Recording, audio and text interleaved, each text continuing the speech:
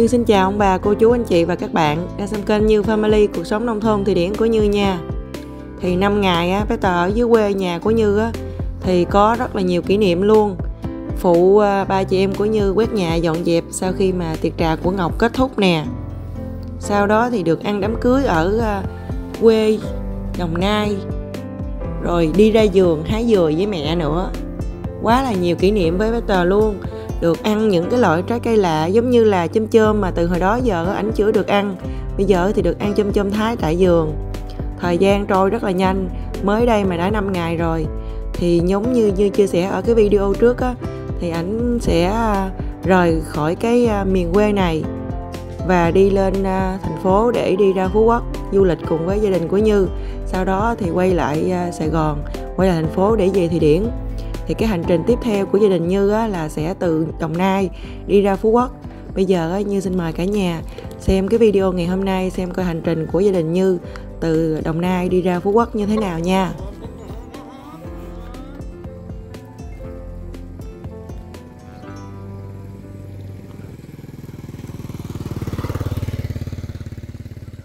Sao mà mò hoài không được rồi trời?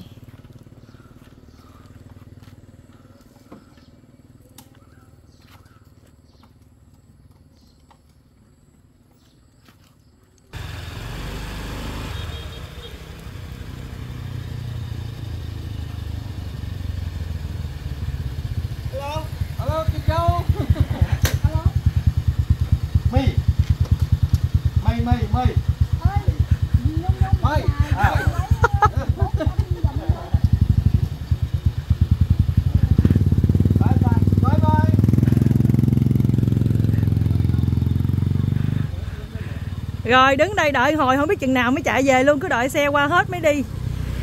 Rồi, chạy đi.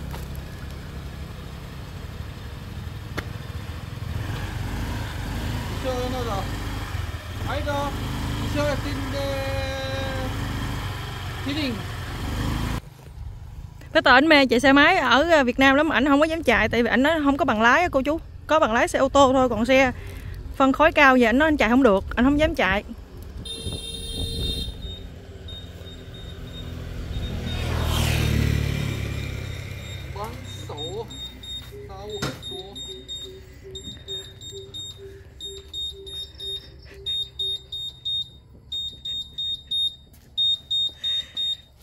Ủa, vụ gì kìa vậy? Nyckeln är borta. Aha. Fortfarande, du har den på dig. Ja.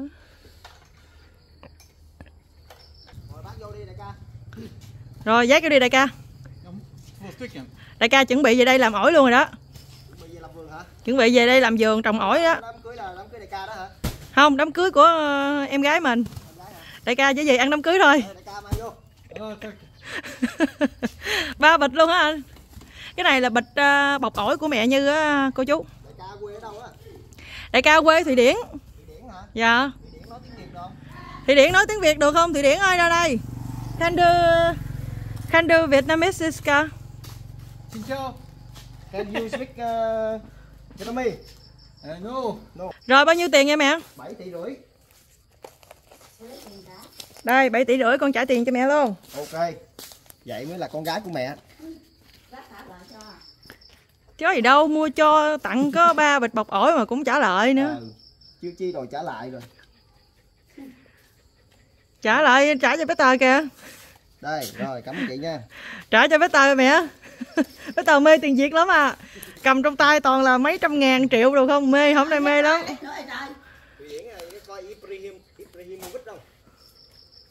biết cầu thủ đó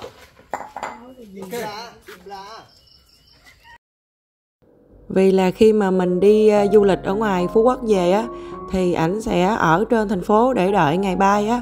Tại vì mình về rồi thì còn có một ngày nữa là bay thôi, cho nên là ảnh sẽ gom hết quần áo, rồi đi lên luôn chứ không có quay lại đây nữa. Thì bé ảnh cũng không có nhiều đồ. Cái chuyến ờ, bay này, cái vé máy bay này như mua cho ảnh là hãng thái. Thì lúc mà ảnh đi về với như á là hãng thái và khi quay về ờ, bên thị điển cũng là hãng thái luôn. Và số ký là được khoảng à, 30 ký, hành lý ký gửi với lại 7 ký hành lý sách tay cả nhà. Thì à, nếu mà đem lên cân thì à, chắc cũng chừng khoảng 20 ký thôi. Còn 10 ký nữa nhưng mà bé tàu nói là thôi bao nhiêu đó được rồi, em mua quà cho Mai Kỳ với lại cà phê Trung Nguyên cho anh á. Rồi mua thêm à, quần áo cho anh nữa thôi, nhiêu đó được rồi. Cho nên không cần phải nhét đầy đủ đâu. Với lại vài bữa mình đi à, Phú Quốc với lại thành phố á, mà mình có mua gì thêm thì nhét vô là vừa. Ổng ngồi á, xếp quần áo xong á thì hãy nhớ là cái đầu tóc này hôm bữa giờ đem về nè. Mà đâu có sử dụng đâu cô chú. Tại vì thời gian á rất là gấp luôn ảnh về quê của như thì tính ra trong vòng có 5 ngày. Nhưng mà đám cưới rồi lu bu này nọ đó, mình đâu có đi đâu được đâu, chỉ là đi ra chợ rồi uống cà phê giống này nọ thôi. Nhưng mà ảnh rất là thích. Ảnh nói là đi xa miền quê này thì ảnh sẽ mãi mãi nhớ luôn. Và có dịp thì ảnh sẽ về nữa. Tại vì miền quê thì vừa yên bình nè, rồi phong cảnh đẹp. Thì à, đi ra ngoài chợ thì muốn ăn cái gì cũng có, buổi chiều, buổi sáng gì cũng có, cho nên là ảnh rất là thích luôn rồi bây giờ là đúng 12 giờ đêm thì à, gia đình của Như sẽ đi à, lên xe này để à, đi lên sân bay Đi du lịch ra đảo Phú Quốc. Còn với Tờ thì cũng đi theo du lịch nhưng mà sau đó thì không có quay lại nhà này nữa Mà ở trên Sài Gòn xong rồi bay thẳng về Thị Điển luôn nha cô chú. À, gia đình của Như đi nhưng mà Nhiên thì không có đi cho nên là Nhiên nó còn mặc đồ bộ bên kia đó thì nó cũng ngồi xe xong rồi đi lên trên à, Sài Gòn luôn tại vì Nhiên Nhiên làm ở trên Sài Gòn. Đấy cho nên là đi chung luôn. Đi du lịch ngày hôm nay á, thì đội hình là mẹ Như bé Tờ Ngọc Vi Si Suri và Như. Thì trên xe á, là mẹ Như là sai xe. Sai xe mà nói chung là sai cấp độ uh, cấp độ 7 luôn đó. Phải lấy vỏ quýt xong rồi à, để vô lỗ mũi hửi từ nhà đi lên à, tới trên sân bay luôn, lúc nào cũng phải kê cái vỏ quýt, vỏ cam trên lỗ mũi như vậy đó, cô chú.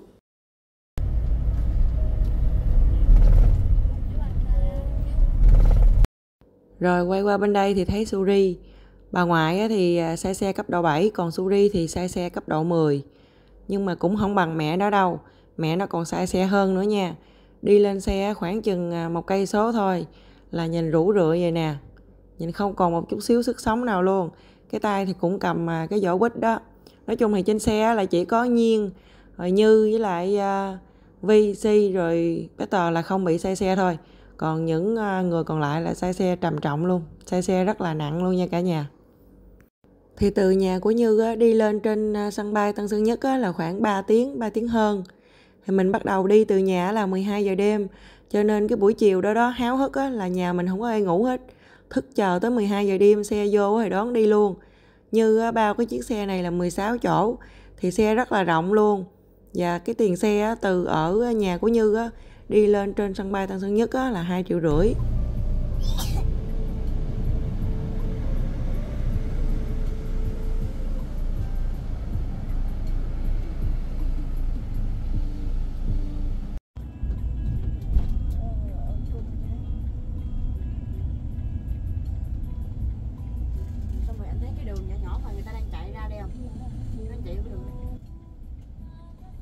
Nhiên nó ở thành phố cho nên là bây giờ á, thì mình sẽ gửi cái vali bự của bé tờ cho Nhiên.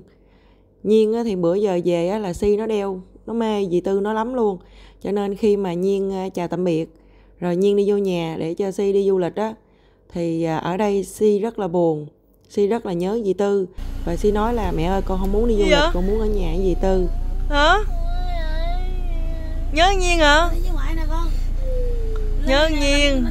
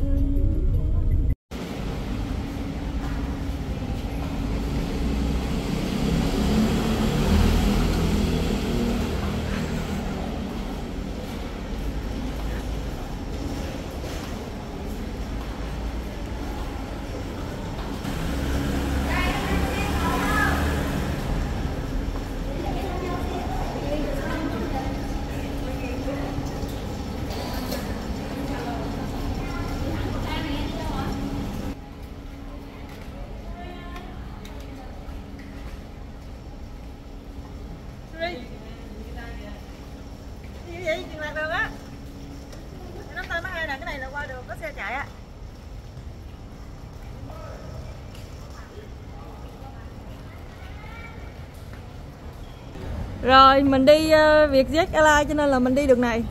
Quẹo phải.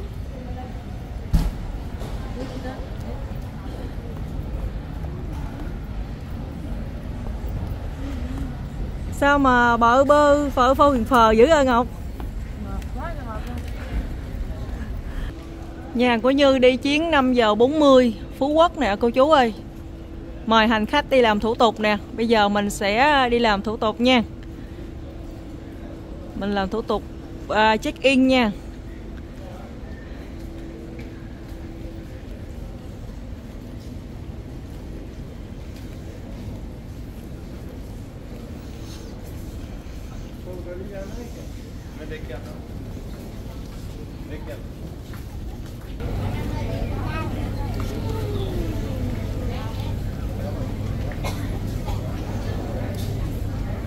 Chào mừng cô chú chào các bạn chào chào và chào chị bạn nhẹ tỉnh chưa si dạ có.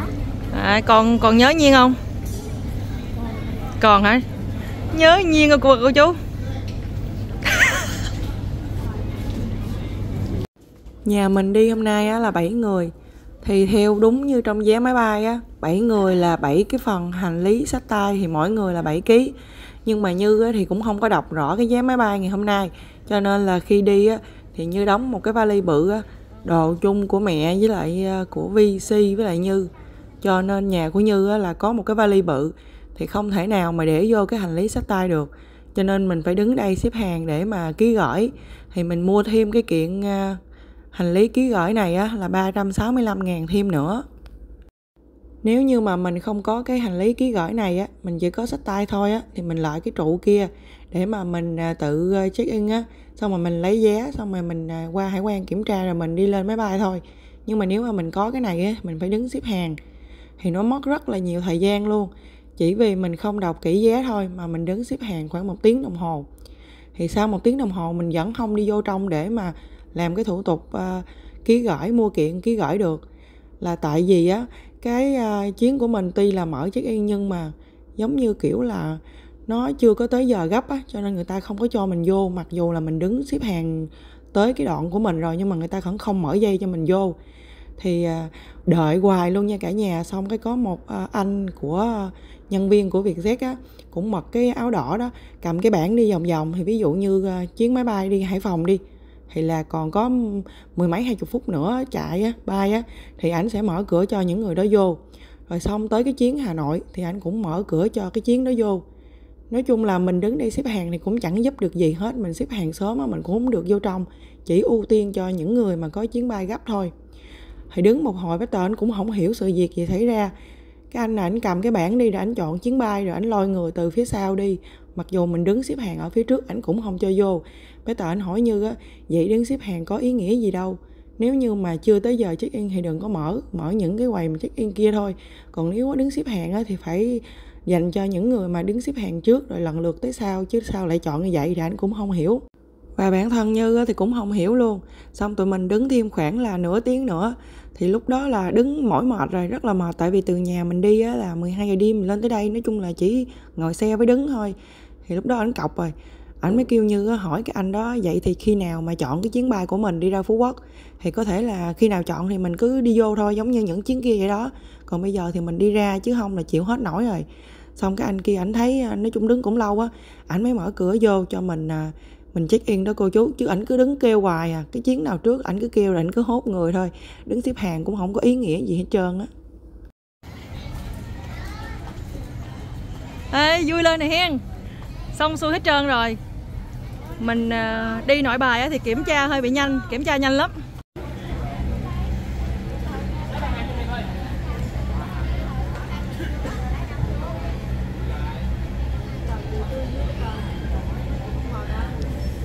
Bây giờ xong xuôi hết trơn rồi cả nhà. Mình đi ờ, kiểm tra vé rồi mình cũng làm xong hết rồi. Mình qua hải quan ờ, luôn rồi. Rồi giờ mình đang đứng ở cửa 18 nè, chuẩn bị bay ra phú quốc nè.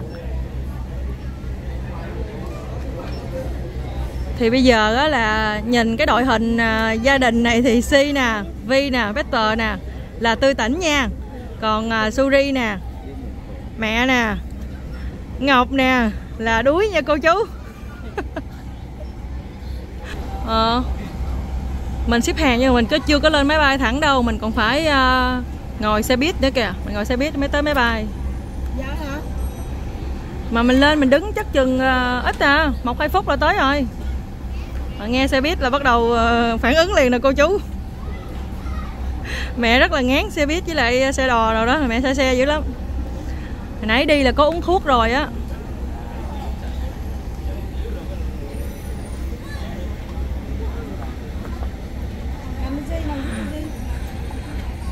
Ổn không tường vi à, tường vi nói rất là ổn luôn rất là hào hứng đi du lịch. Trời ơi, nhìn quả chạy đậu thiệt luôn, cô chú ơi. Đây là ba người nằm nè. Bà ngoại, mẹ, xong rồi tới cháu ngoại. Rủ rượi luôn.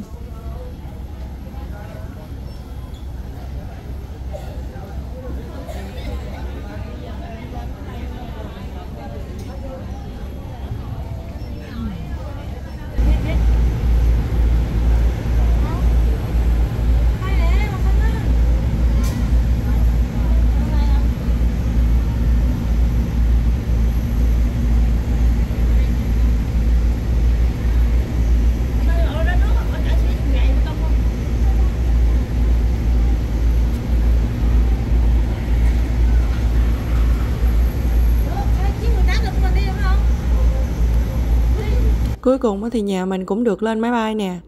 Lên máy bay thì à, bay rất là nhanh nha. Cái chuyến bay này thì à, như thấy ở trong vé ở trong cái chuyến bay viết là 40 phút. Nhưng mà thật ra mình bay chỉ có 35 phút 30 phút gì đó thôi là tới rồi. Thì như có hỏi à, nhân viên trên máy bay á, tiếp viên hàng không á thì ảnh nói là lý do là tại vì tùy theo cái thời tiết á, rồi tùy theo gió nữa. Cho nên là hôm nay bay rất là nhanh luôn. Thật ra bay ra phú quốc thì không có mệt đâu cái mà mệt á, là từ ở dưới nhà của Như á, đi à, xe lên trên sân bay. Tại vì 12 giờ đêm á, là đã đi rồi lên tới mới có 3 giờ 19 phút thôi. Mà nằm đợi rồi xếp hàng rồi làm thủ tục đầu này nọ đó thì tới à, 5 giờ 40 mới lên máy bay. Thì à, đi tới chỗ phú đi tới phú quốc á mình đi ra ngoài luôn á là 6 giờ 40 6 giờ 45 là tới rồi. Lần này đi á thì mẹ như nè ngọc nè với suri á là lần đầu tiên được ngồi máy bay luôn cho nên rất là hào hứng. Mặc dù sai xe nhưng mà lên máy bay thì cũng nhìn nhìn ra ngoài nha. Rất là vui rất là mừng.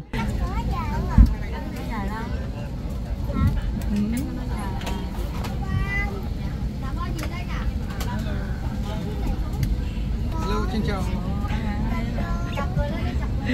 Xin chào xin chào Peter Peter hôm nay đi giữ ta? Đi từ uh, Sài Gòn về Đồng Nai xong từ Đồng Nai đi Phú Quốc luôn xa nha.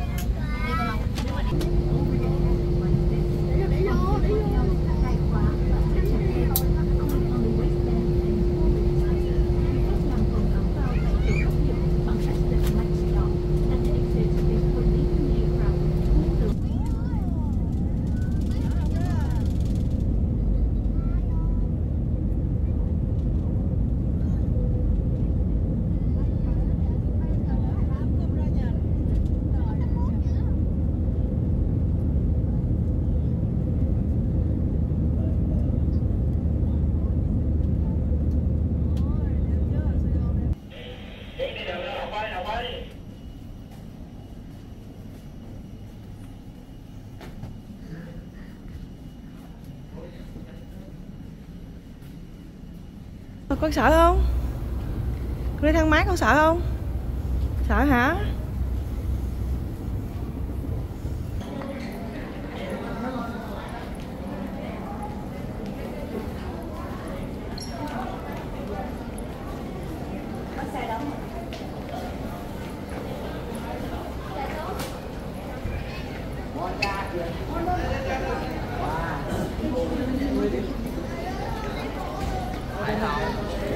anh đi đón em phải không? Đúng rồi đúng rồi.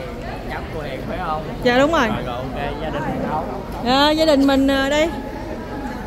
Còn hai người nữa mà không biết ở đâu này rồi để em tìm thử coi. Dạ đúng rồi Đó.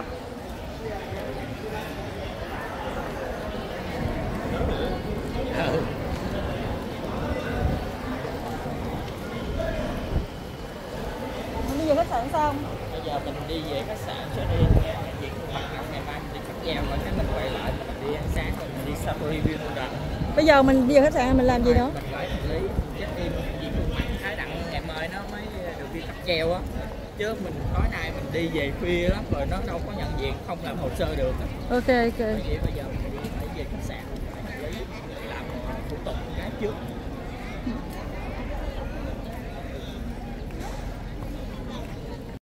chuyến đi này á, thì không phải là do như đặt tour hay là không phải là do như đi mà là mẹ nuôi của như á, đặt cho như đi thì khi mà như đến à, sân bay phú quốc á, thì như gặp cái anh này.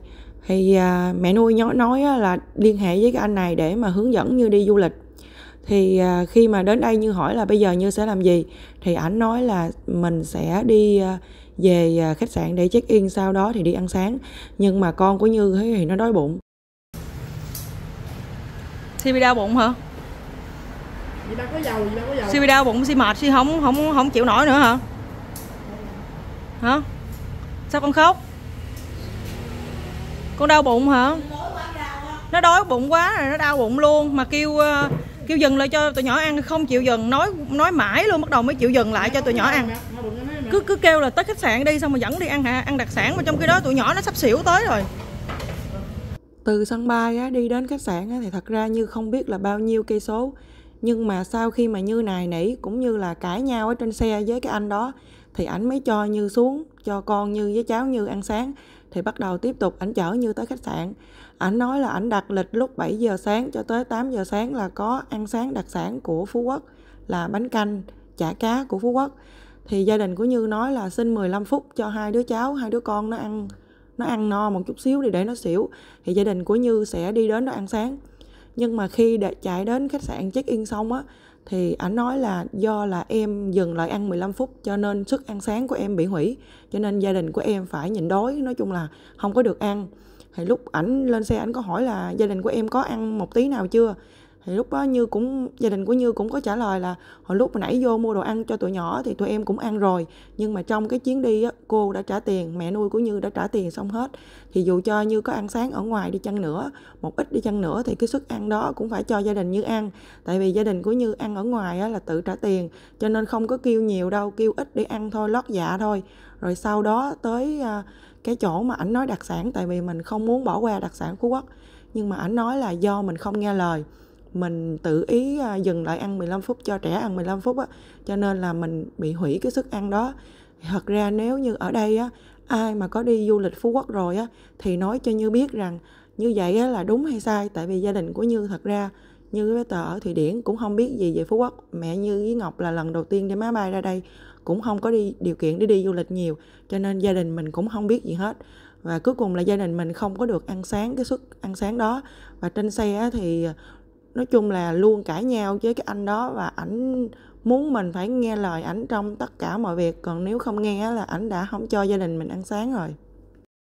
Trong gia đình của như á thì à, suri có ăn một miếng si có ăn một miếng rồi vi ngọc mẹ như đều có ăn. Nhưng riêng Peter á là cái à, cái món ở trong cái à, quán ăn sáng hồi nãy á, là ảnh ăn không có được cho nên là ảnh nhịn đói thì có nghĩa là có một mình ảnh là không ăn sáng trong quán đó.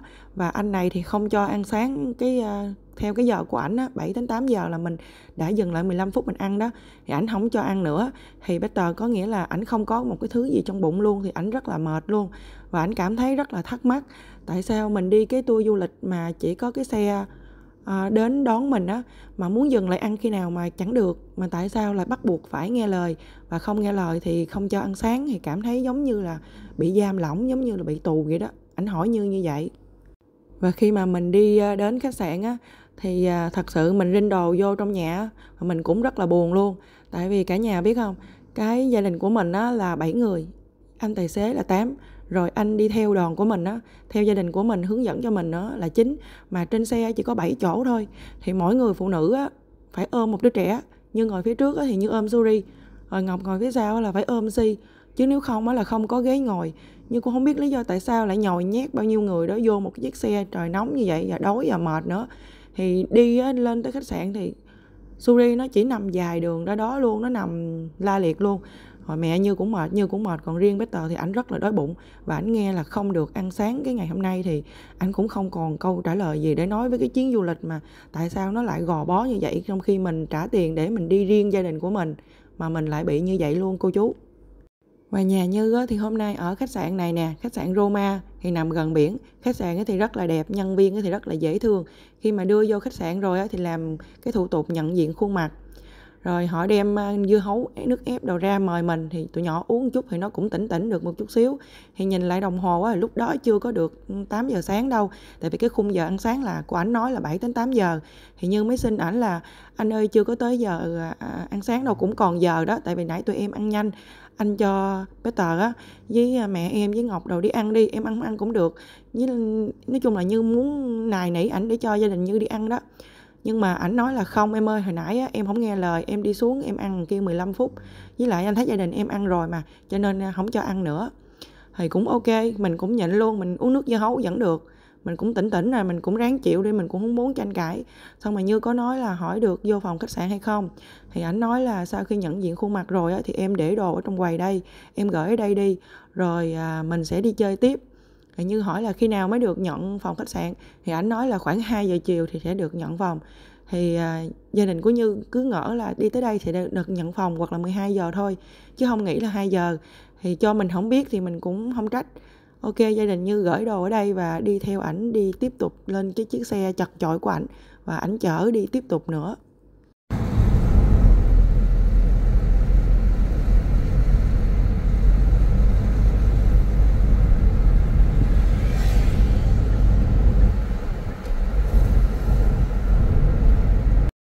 Đoạn đường từ khách sạn á, đi tới cái địa điểm mà ảnh chở gia đình Như á, thì cũng khá là xa. Và gia đình Như rất là mệt luôn cô chú. Tại vì tới khách sạn á, mình chỉ gửi đồ xong rồi mình đi.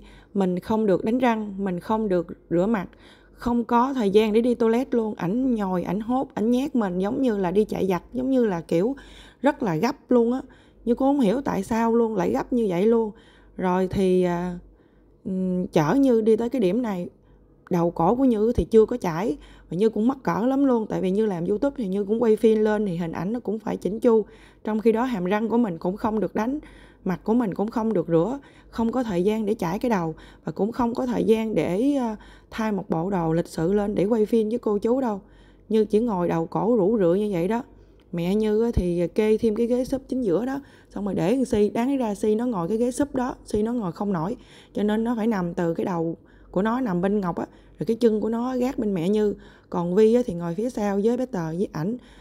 Ảnh thì ngồi giữa bé tờ thì ngồi góc bên kia còn vi thì ngồi cái ờ, phía sau lưng của như với ngọc đó. Thì vi nó đã nó nói chung là mẹ ơi con không thể nào tưởng tượng được. Tại sao mẹ lại dẫn con đi một cái chuyến du lịch nó khủng khiếp như thế này? Mẹ dẫn con ra đây xong rồi mẹ ngồi cho con ngồi phía sau với hai người đàn ông như vậy nói chung là nó không có thể nào chịu nổi. Nó là một đứa con gái thì cô chú biết nó rất là yếu đuối mà. Nhưng không hiểu là nhét trên cái xe vậy như cũng à, nói chung lúc đó mình cũng rất là ngu. Tại sao mình không dẫn con của mình đi xuống mà để cho nó ngồi xong mà nó than khóc. Cuối cùng thì cũng tới cái địa điểm để chơi. Ảnh kêu gia đình như vô chơi thì lúc đó là khoảng 9 giờ mấy. Nhưng mà thật sự gia đình như không có thể nào đứng nổi chứ đừng nói là đi chơi. Thì mình mới yêu cầu ảnh á là cái suất ăn sáng hồi nãy anh đã bỏ rồi thì bây giờ anh cho gia đình em ăn sáng đi, em sẽ tự bỏ tiền ăn. Ảnh vẫn không muốn, ảnh vẫn không muốn chở đi. Ảnh nói vô chơi xong đúng giờ mới được ra, còn ừ, giờ chị ra là tôi không có cho chị ra. Xong rồi mẹ như nói nếu mà không cho ra ăn thì bé tờ nó sẽ chết. Nó đói bụng lắm rồi, cho nó ra ăn đi. Cuối cùng ảnh chở nhà như tới một cái quán cơm như thế này ngồi ăn. Và cái bữa cơm này thì là ảnh trả tiền. Như nói là như giận lắm, như để đó tiền nhưng mà ảnh đã trả sẵn rồi.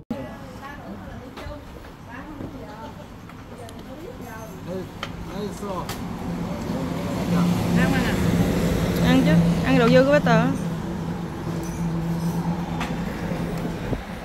Vill du ha en till? Eh, vadå? Kaffe?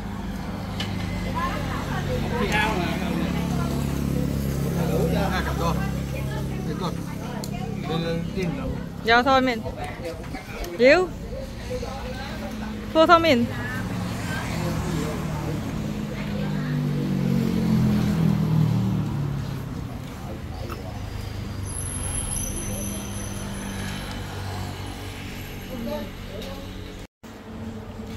À, đi du lịch phú quốc thì bây giờ à, bay máy bay ra đây tới đây xong ăn cơm phần.